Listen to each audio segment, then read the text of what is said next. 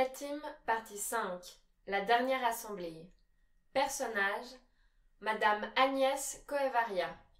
Hélène Spilacopa. Carole Plapuis. Hector Satterthwaite. Youssef Kenord. Et la présidente de l'Assemblée.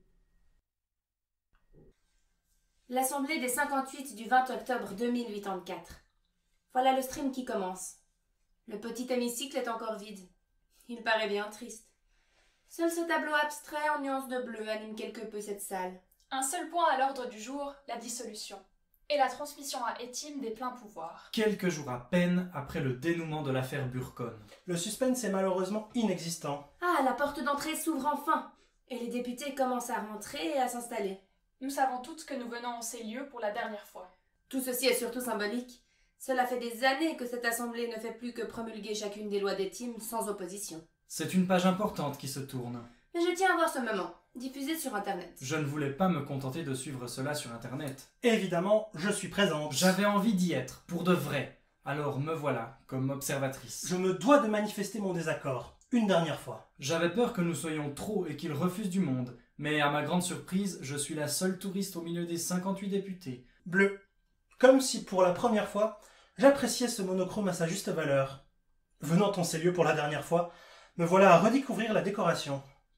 Ah, voilà notre pingouin de présidente qui prend la parole. Les grandes vaincues ouvrent le bal, avec la présidente des bourconistes qui tente de partir la tête la plus haute possible. C'est fou comme on peut avoir l'air bête a posteriori. Alors que sur le moment, notre position était, avec les informations dont on disposait, parfaitement rationnelle et justifiée. Mais l'histoire ne retient que les résultats. Cruel. J'aime bien ce tableau, mais il est peut-être tout de même un peu trop bleu. Les bourconistes qui veulent se retirer dignement, mais bien sûr, vous n'êtes qu'une bande de vieilles connes. Des réfractaires au changement, incapables d'accepter la magnifique supériorité des machines sur nous, pauvres humaines si faillibles. Vous aviez tort, et puis c'est tout.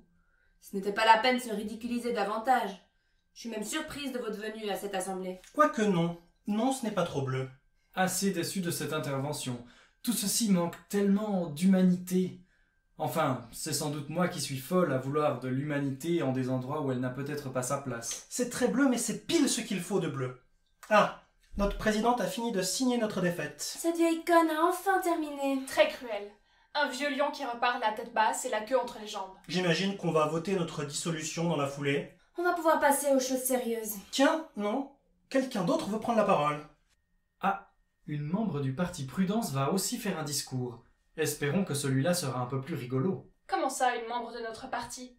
Qu'est-ce que c'est que cette histoire? Non mais sérieusement? Vous ne voudriez pas juste voter cette dissolution? Je ne pensais même plus au parti Prudence. Après tout, peut-être que parmi elles, certaines ne sont pas devenues complètement intimistes pour autant. Enfin, quand bien même l'intégralité de leur groupe défendrait le maintien de cette assemblée, cela ne suffirait pas. Je suis la dernière Aya. Toutes les bourconistes ont définitivement retourné leur veste. Oh, elle va parler? Je savais que j'avais bien fait de venir. Coevaria Mais qu'est-ce qu'elle fout? Agnès? Que peux-tu bien avoir à dire? Ah, je vois. Agnès Coevaria. Vous voulez sans doute savourer votre victoire. Après tout, Etim est un peu votre bébé. Enfin, au moins ça me donne l'occasion de te voir. Fichtre, à 52 ans, vous êtes plus charmante que jamais, je dois dire. C'est fou. Même tes cheveux grisonnants participent à ta subtile magnificence.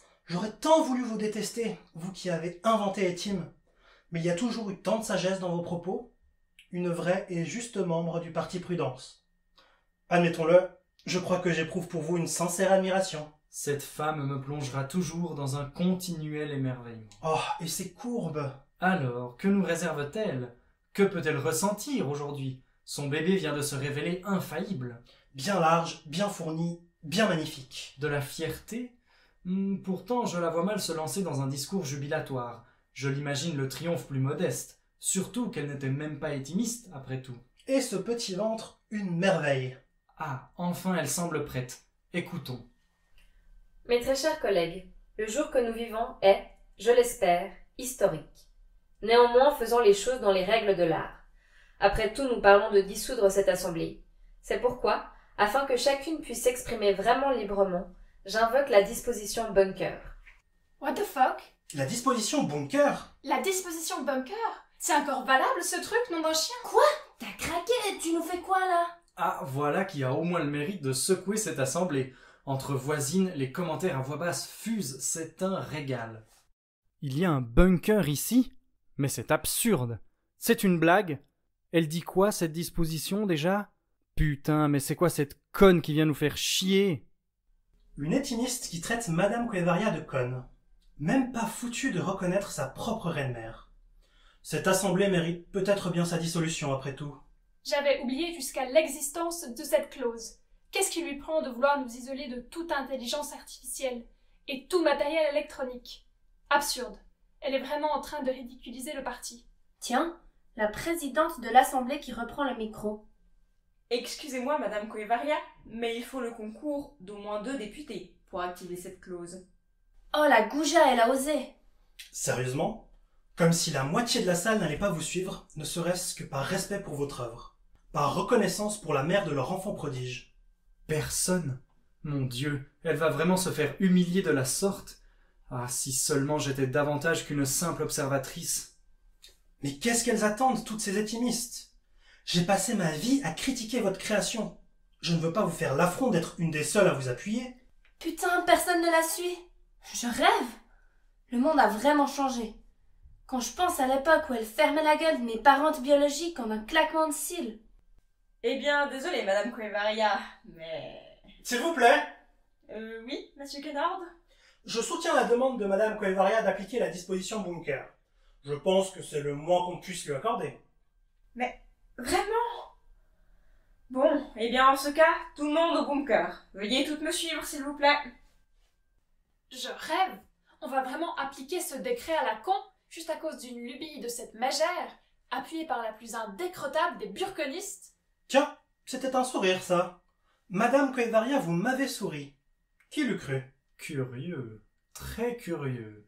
Je n'ai plus vu ce bunker depuis la visite inaugurale des lieux, il y a 22 ans. J'étais la plus jeune de l'Assemblée en ce temps-là.